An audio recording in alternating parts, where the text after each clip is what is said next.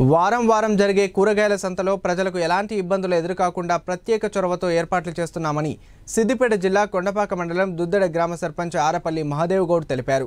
ప్రతి సంవత్సరంలాగే ఈ సంవత్సరం కూడా కూరగాయల సంత వేలంపాట గ్రామ పంచాయతీ ఆవరణలో నిర్వహించారు. వేలంపాట కార్యక్రమంలో గ్రామ ప్రజలు పాల్గొని సమస్యలను సర్పంచ్ గ్రామ పంచాయతీ పాలకవర్గం దృష్టికి తీసుకువచ్చారు. సమస్యలపై మాట్లాడిన అనంతరం వేలంపాట నిర్వహించారు. వేలంపాటలో ఏడు మంది పోటీ పడగా గ్రామానికి చెందిన దోమల అరుణ్ కుమార్ వేలంపాట దక్కించుకున్నారు.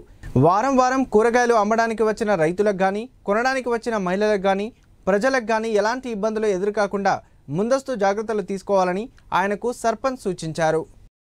గ్రామంలో మన దుద్దెడ గ్రామంలో ప్రతి ఆదివారం నిర్వహించే కూరగాయల సంత వేలం వేయడం జరిగింది. మా దుద్దెడ గ్రామం ప్రజలు ఇక్కడికి విచ్చేసి ఈ వేలంలో పాల్గొనడం జరిగింది. అందులో ఏడుగురు డిపాజిట్ చేసి ఆ వేలంలో పాల్గొని దోమల అరుణ్ యాదవ్ అనే యువకుడికి ఈ వేలం కైవసం చేసుకోవడం జరిగింది.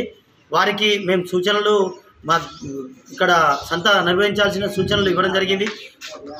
ఎలాంటి ఇక్కడికి చుట్టుపక్కల గ్రామాల నుంచి వచ్చే రైతులకు కూరగాయలు తీసుకొచ్చే రైతులకు ఎలాంటి ఇబ్బంది కలగకుండా మరియు వేలానికి ఇక్కడికి కూరగాయలు తీసుకెళ్ళడానికి వచ్చినటువంటి ప్రజలు కూడా ఎలాంటి ఆటంకాలు లేకుండా చూసుకోవాల్సిన బాధ్యత వాళ్ళకే ఉంటుంది కాబట్టి జరిగే సండే సండే జరిగే కూరగాయల సంతను వేలం వేయడం జరిగింది.